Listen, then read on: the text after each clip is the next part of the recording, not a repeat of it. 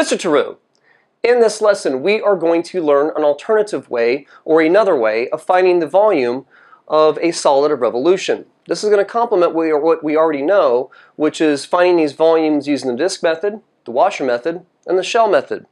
And a, the, using the theorem of Pappus will be an option when you find it either, well, either required or you find it easy uh, to find, relatively easy, to find the centroid of a plane region.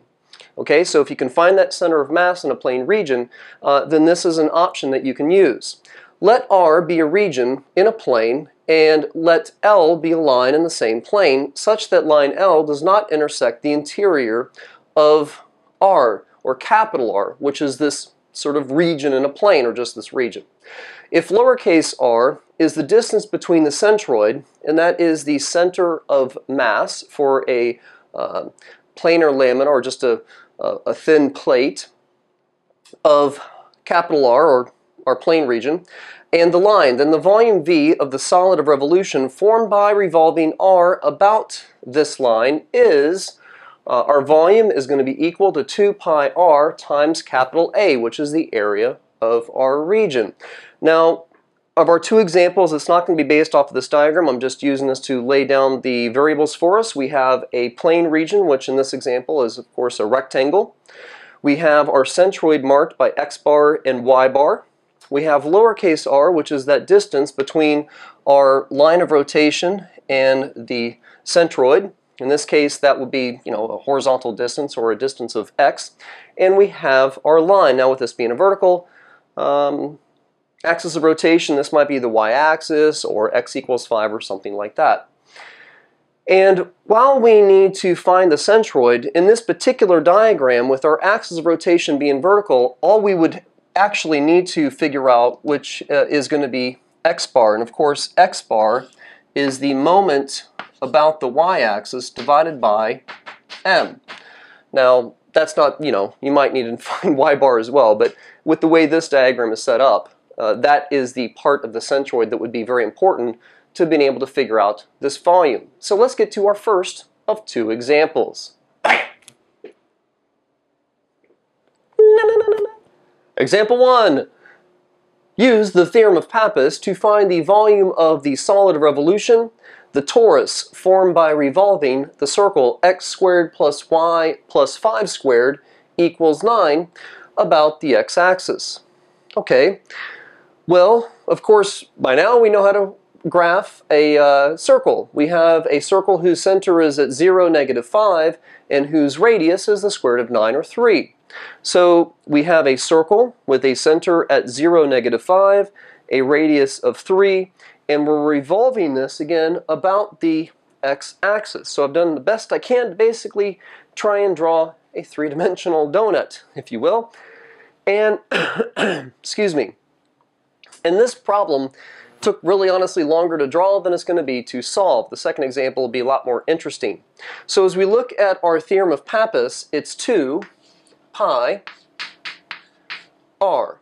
Okay, now that was the distance between the axis of rotation, or the line L, and our centroid. well, our centroid for the circle, our center of mass, I don't need to do any kind of fancy calculations to figure that out like I will in the next example. It's simply the center of the circle, so it's going to be 0, negative 5. So the distance between the x-axis and negative 5, of course, is a distance of 5. So r, lowercase r is 5, times the area of our plane region, well, and again, we don't need to set up a definite integral to find the area of a circle. That's simply pi uh, r squared. And our r value is 3. So, uh, cleaning this up, we have 3 squared is 9, and 9 times 5 is 45, and 45 times 2 is equal to 90, and we have pi times pi here, so that's going to be 90 pi squared. And we're talking about volume, so you might want to just say that it's units cubed. And just to double check, that is absolutely correct. Well, that didn't take very long. Let's get on to some, uh, our second and last example that, you know, requires a lot more calculus to figure out the problem.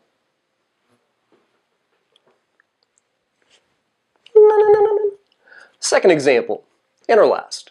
Use the theorem of Pappus to find the volume of a solid of revolution formed by revolving the region bounded by the graphs of y is equal to the square root of x, y is equal to 0, x equals 4, and the line, we're revolving it about the line of x equals 6. So what information do we need? Well, we need to know what r is, the distance between the line and the centroid, the center of mass, and we need to know the area of the region in the plane, or the plane region.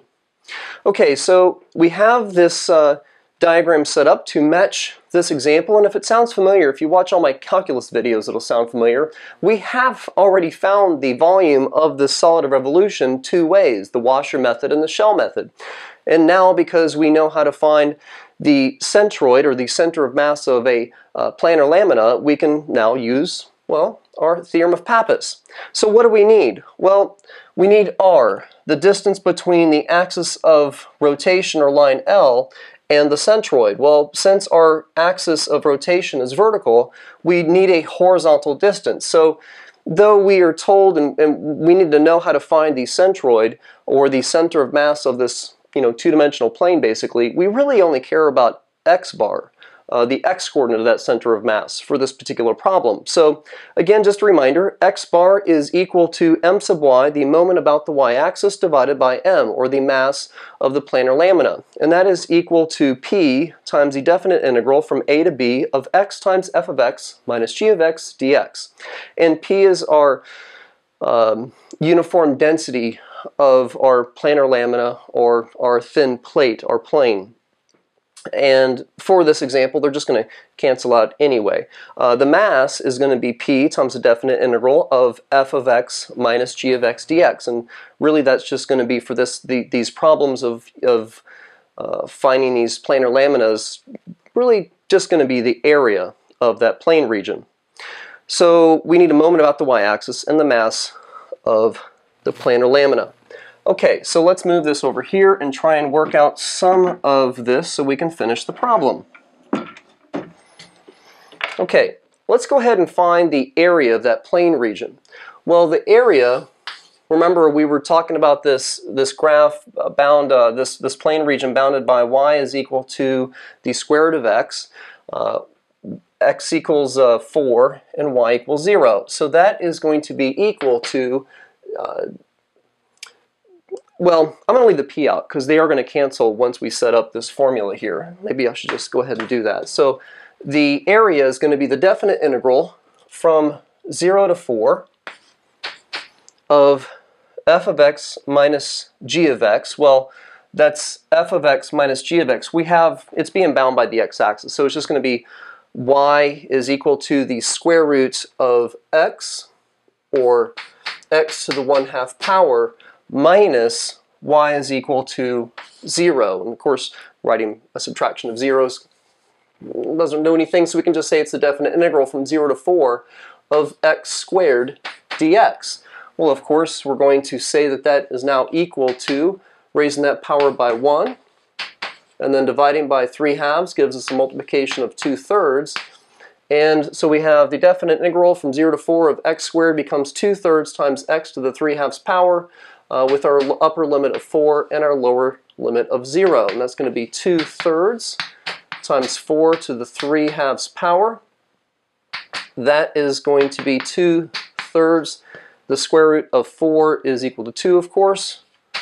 That raised to the third. Now we have 2 thirds times 8, and that is going to be 16 over 3. So that is the area of this plane region. So let's write this over here. Excellent.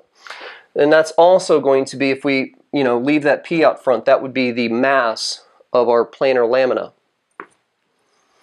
Now, the moment about the y-axis.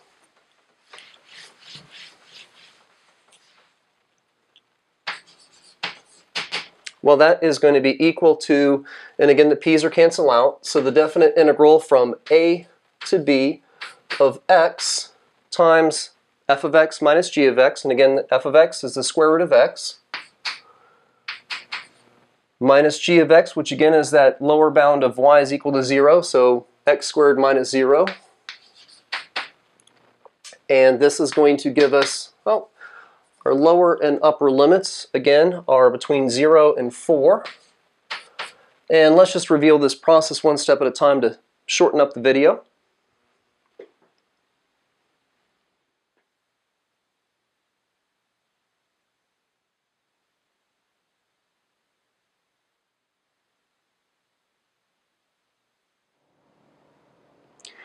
So working through our power rule, uh, increasing that by 1, dividing by 5 over 2, which is multiplying by 2 fifths, and plugging in our upper and lower limits of 0, we have our moment about the y-axis, which is equal to 64 over 5.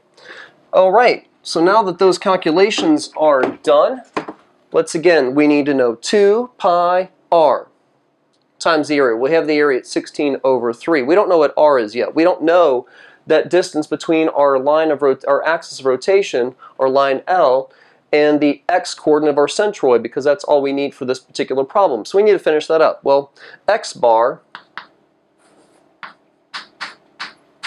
is equal the, to the moment about the y-axis, which is 64 over 5 divided by the mass, which because these p's are canceling out, really it's just the area in this particular case, 16 over 3.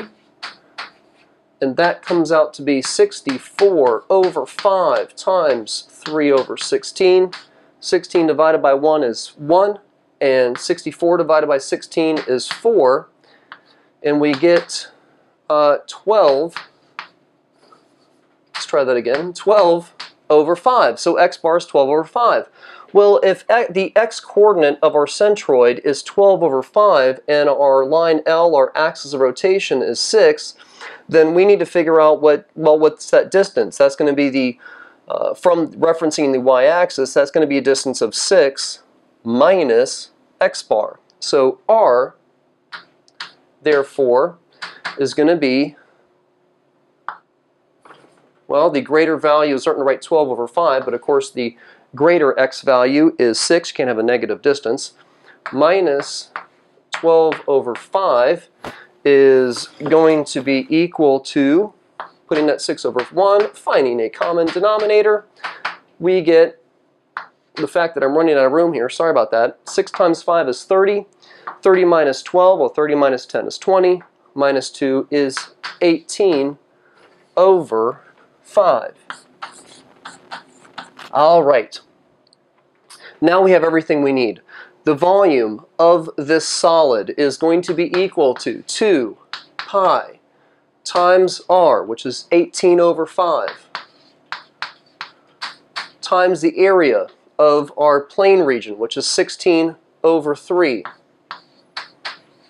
is equal to, now I don't really want to try and do 2 times 18 times 16 off the top of my head, so off the top of my head, we get the final answer is equal to 576 pi. That's not what I said. Let's try that again. 576. Okay, I'm glad this lesson is almost over. Let's try this again. 576 pi over 15, and that reduces to 192 over 5 pi, and that is the volume of this solid, which we've now found using the washer method, using the shell method, and even though I stopped uh, being able to copy correctly at the end of the video, we have found the correct answer using the theorem of Pappus. I'm Mr. Tarrou. Go do your homework.